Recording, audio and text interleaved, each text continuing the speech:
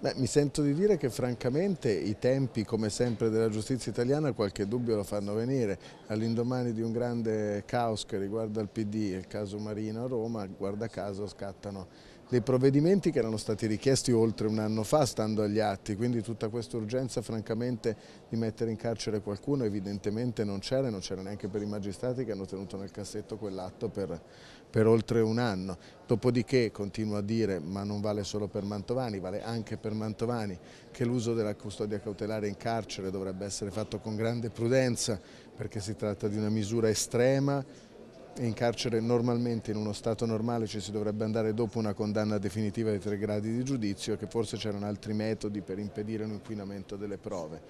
Poi sui fatti e sulle fattispecie di reato di cui vengono accusati sarà la magistratura, spero far chiarezza, mi auguro brevemente. Mi sento di dire che la Regione Lombardia francamente in tutto questo